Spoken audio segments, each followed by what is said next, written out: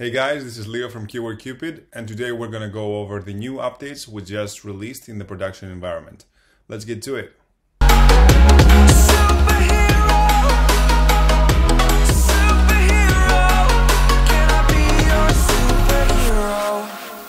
Starting off with some minor updates, we realized that uh, the drop-down menu was uh, problematic because when you had a lot of projects, there were some clients that had like you know 60 different projects, and you couldn't really view all of them. It was going off the page. So we just show the first 10 projects here, and then you can just click View All Projects to go to the Projects menu, which you can also access from these three dots.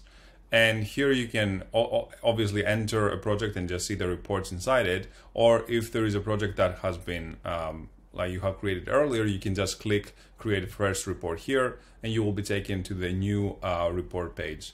Here you can select to bring your own data or the simple report and fill the, the menu as always. You can just click here and also like edit, uh, enter your location or just drag uh, uh the uh, pointer in the map. And now there is this new option called SERP Spy. And what SERP Spy does is that it scrapes the first 10 to 20 uh, SERPs for each keyword that you are having in your report. This allows us to uh, be able to compile meaningful statistics such as the average content length, the uh, number of H2s, the number of outgoing backlinks to different sites. Uh, so you can get a, a bit of a, a, an, idea of what your competitors or what um, uh, you, you, know the profile of that uh, SERP vector does you can just simply click it and then when you run the report it's going to take it into account. What you can also do is that you can uh, select here uh, you can just go to the report menu for each project and then in the SERP Spy you can just click this button.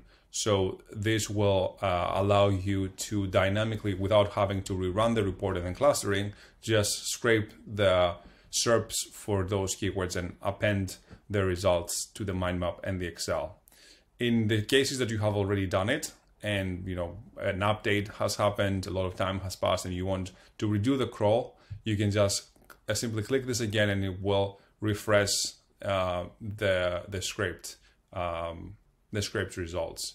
And just to be clear, we going into uh, you know, extending length to be able to to be sure that we're scraping only the content of the page, that the thing that is written, uh, that is read from the user, not the sidebar headers, footers, or anything else that could be in the page. So we can guarantee that when you're seeing a thousand uh, words for the content, this is a thousand words of the actual content, not all the surrounding. One of the things that we can see that uh, has also changed is the Excel report. And the Excel report now has um, a different layout. It's a, it's a compact layout. And thank you, Adam from Superlative and Daryl Daryl from uh, Lionzil that uh, they have helped a lot into coming up with this new uh, format. Everything else uh, has been here uh, that was before. It's uh, still here, so you can see the individual metrics once you unhide uh, the columns from here. But in this new sort of tab, what you have is everything, everything at once and the the difference is that all the keywords now appear in a in a single column so you can just pivot it and just put it into Airtables or whatever uh, you want without having to unmerge the, the the cells, which was difficult before. The problem with this approach is obviously that we can we have to relinquish the individual metrics because you cannot have both options. Or what you see here is the sum uh, of the uh, all the keywords for that specific page. The uh, dotted line indicates how confident we are about those supporting keywords belonging together. As you can see, we're very confident that Bulldog, size, uh, all of those uh, things go together and it makes sense uh, in terms of the of the keyword uh, meaning. And then the uh, um, the strong green line is all the, the different pages that are belong in the same silo or they're very related to each other. And as you see here, this is the natural separation. This is about cute dogs, cute breeds, cutest dogs, everything that has to do with cute. This is what the cluster found that the, the, this silo has to do with cute, but there are individual pages that obviously have a mind micro intent.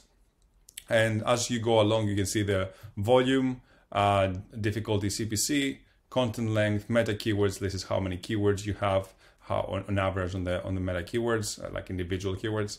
H1, H2, H3s, bolded keywords inside the, the, the, body of the content, which sometimes is good in order to know what you can get away with, uh, as this affects uh, the snippets a lot.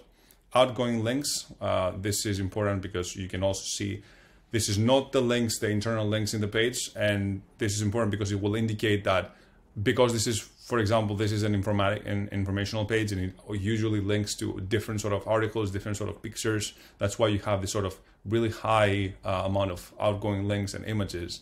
And this also will give you an idea to uh, be, get a better understanding of what exactly is the intent behind this. Um, in more informational kind of um, uh, queries, you don't see uh, that many outgoing links. Um, yeah, uh, QC81. Yeah, those are more like they have to do with images and pictures and uh, related links. But that is the general gist of it. It should be easier to use. And if for some reason you don't like the spaces here, I mean, I had to do this in order to be able to distinguish between the, the dotted lines, especially when the colors change. I mean, here it's obviously like massive, but uh, when there is something like this, where there are uh, red or orange uh, pages, which is like you have to be a bit more careful in terms of like understanding what is the intent behind here because there might not be so related. I, I wanted to be able to be easily distinguishable, uh, but it's quite easy if you want to filter, you can just click all of it and then sort and filter, filter, and then you can just click here and just remove the, the blanks. So you will just have the, the normal kind of rows. That's it. Uh, let us know what, what you think. Send us an email.